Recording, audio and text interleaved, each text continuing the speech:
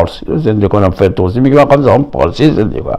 زبانم عربیه تنها چیزی هم که می‌خوای درس بخونی یاد بگیری و دیگه کتابخانه جندی شاپور و اینا نیست.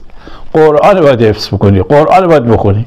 اگه کسی هم می‌خواد محقق بشه بود قرآن بشه. بعد تو میشه پور سینا بزرگترین پزشک دوران و تاریخ تا به امروز. باید عربی بنویسی. فارسی بنویسی که پارسی بنویسی که کسی نمی‌فهمه که پارسی کتاب آکادمیک دانشگاهی که نیست که.